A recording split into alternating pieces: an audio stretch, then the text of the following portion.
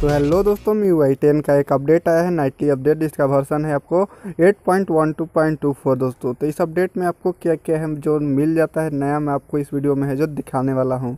तो दोस्तों, वीडियो में आगे से, बढ़ने से पहले वीडियो को लाइक कर दीजिए। अगर आप हमारे चैनल पर नए हैं तो चैनल को सब्सक्राइब कर दीजिए और बेल आइकन को भी प्रेस कर दीजिए, क्योंकि मैं जब भी आपको वीडियो डालूँ तो आपको नोटिफिकेशन है जो मिल जाए। तो देख लेते हैं, इसमें क्या क्या आपको न्यू फीचर है, जो मिल जाता है दोस्तों। तो इसमें जो जो मतलब मैं देख सकते हैं दोस्तों कि Redmi 4 यूज़ कर रहा हूँ।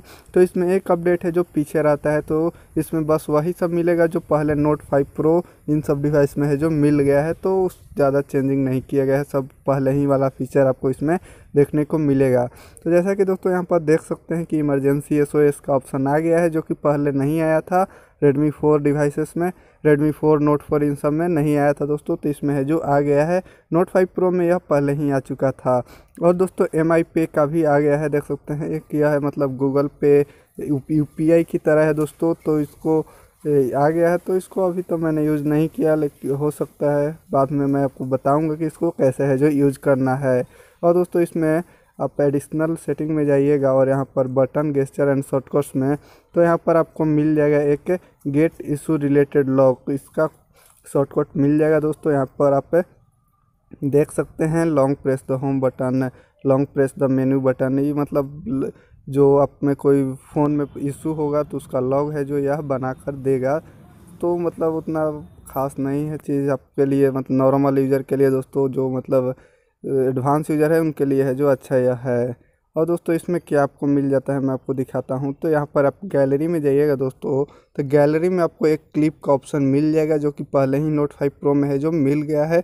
यहाँ से आपको मिनिमम है जो थ्री से ट्वेंटी पिक्चर है जो सेलेक्ट करना है और यहाँ से ओके करेंगे तो आपको एक एक क्लिप है जो बन सकता है। यहाँ पर आप देख सकते हैं कि इससे आप एक क्लिप है जो बना सकते हैं म्यूज़िक वगैरह सारा कुछ चेंज कर सकते हैं और एडिट भी कर सकते हैं। अगर कोई फ़ोटो आपको है जो यहाँ से डिलीट करना है और यहाँ से ऐड भी है जो कर सकते हैं दोस्तों। तो यह बहुत ही अच्छा फीचर मुझे लगा। इसमें जो कि नोट फाइव प्रो में यह पहले ही आ चुका है दोस्तों। और दोस्तों, यहाँ पर देख सकते हैं कि रिकॉर्डर का है जो लुक चेंज कर दिया गया है, बिल्कुल चेंज हो गया है। रिकॉर्डर का लुक आप देख सकते हैं कि पहले कुछ दूसरी तरह का आता था, अब बहुत चेंज कर दिया गया है इसको।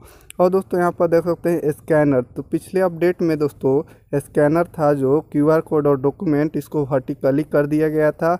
अब इसको फिर से मतलब ओरिजेंटल है जो कर दिया गया है। पहले भी ऐसा ही था, बीच में चेंज किया गया था वर्टिकली फिर से इसको ओरिजेंटल कर दिया गया है। और दोस्तों, मैं आपको दिखा दे रहा हूँ यहाँ पर।